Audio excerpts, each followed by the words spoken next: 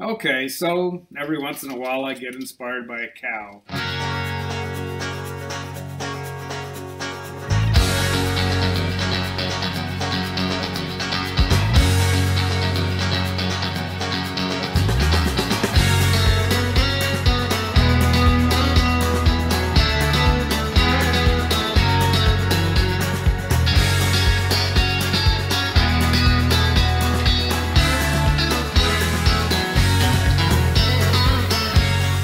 Every time I visit the subject bovine with my art, I end up making the same points.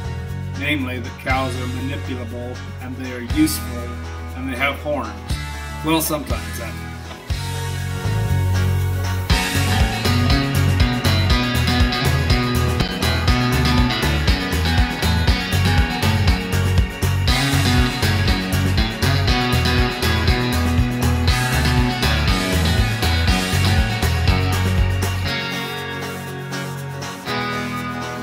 As I contemplated the cow this time, I wanted to focus on the quiet good nature of the beast, almost as a companion.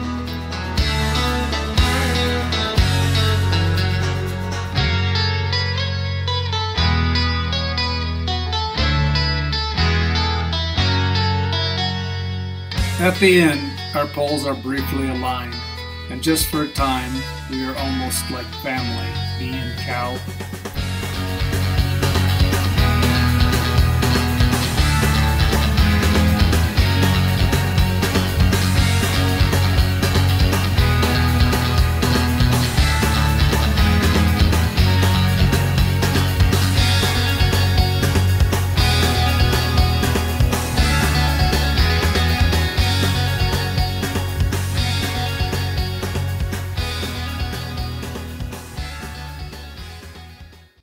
First time I sculpted a cow, the person I was working with at the time said, Oh God, I knew something like this was going to happen if you moved to halfway.